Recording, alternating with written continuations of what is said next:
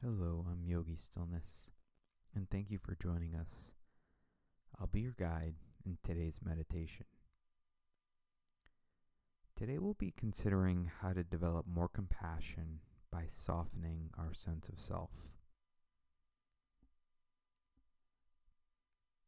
We will begin sitting on the floor, a cushion, or in a chair. When you're ready, allow your eyes to close. And let's take three deep breaths together now. Start by taking a great big inhale and hold it. And let it go with a full exhale. Take another deep breath in and pause, holding it. And a full exhale. One more time. Inhale fully and pause. And let it all go on your last exhale. Bring your attention to your body now and begin to notice any feelings on your skin. Focus on the sensation of the air against your skin. Notice how your sense of touch allows you to feel the border of your body. Start to visualize your outline, mentally tracing your skin around your body. Feeling the seat underneath you, your clothing against your skin, hair, glasses, jewelry, the air flowing over everything else. Imagine the shape your body creates.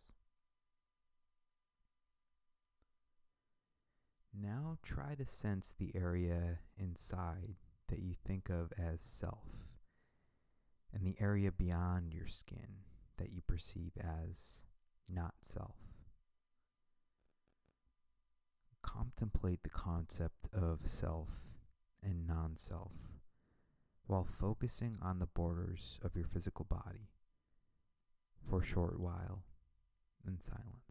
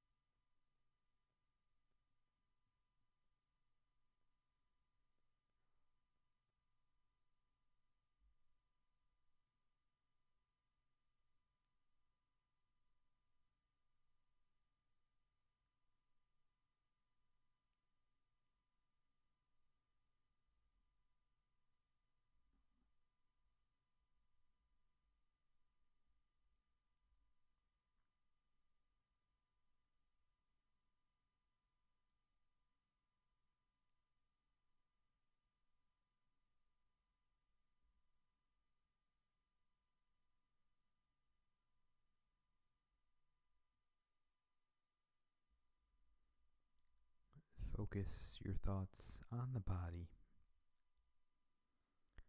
Feel the skin where it's warm or cold. The sensations of your clothing against it. And the overall feeling of having a body. Then imagine your skin growing translucent and subtle, as if it were made of water. Imagine light passing through the body as it becomes more and more transparent. Imagine your sense of touch expanding beyond the body, like a drop of colored water dissipating into a larger body of water. As the borders of the body disappear, imagine there is no difference between yourself and the surrounding space. Continue visualizing yourself dissolving into the space around you silently for a few minutes.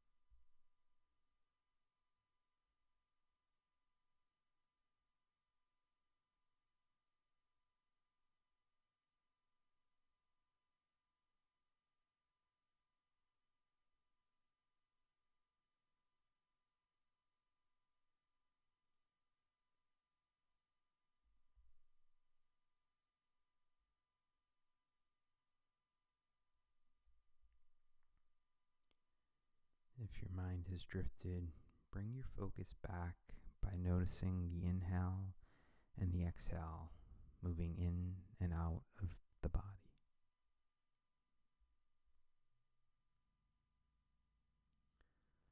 One of the schools of Indian philosophy called non dualism states that the whole universe is all one singular consciousness. But the universe appears to be made up of ourselves and a whole bunch of stuff that is not ourselves. Non dualistic philosophy says that, in reality, underneath everything else we see, there is nothing that is not actually a part of ourselves. Other people, insects, nature, Everything that appears to be different in the whole universe is actually a part of the giant whole. All the things we see, in a way, are all part of ourselves. And in that sense, all things great and small deserve compassion.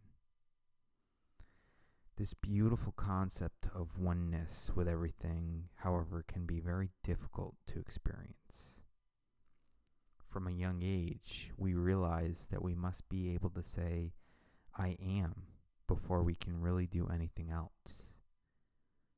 But this at times can lead us to feeling lost on our own islands, secluded and lonely. Our sense of self is important to help us navigate our lives.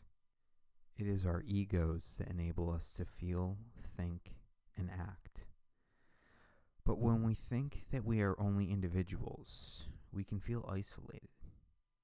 It can also make us selfish, acting only for our own benefit.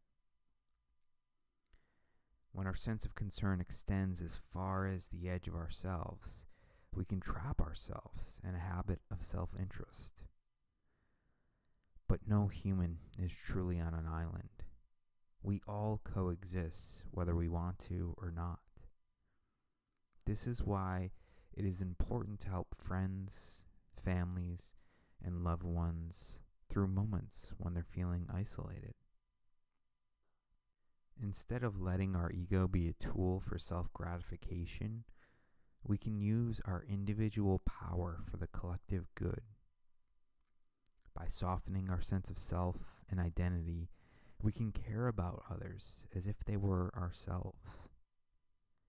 Gandhi taught that it was impossible to do violence to another individual when we are aware that in reality we are all connected. Everything we see in this world around us exists within us as well. From anger and greed to love and compassion.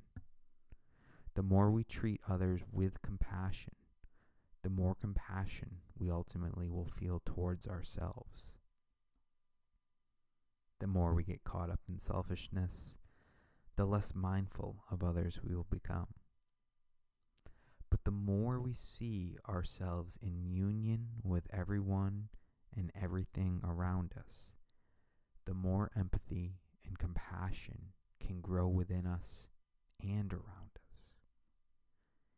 In turbulent times, we can create small changes by being that light we wish to see reaching every corner of the universe. Come back into your body now. Take one last clearing breath in and hold it. And let it out. Then allow your eyes to open. Thank you for showing up for your mindfulness practice today. We are so grateful for this opportunity to support you in self care and look forward to meeting here again tomorrow.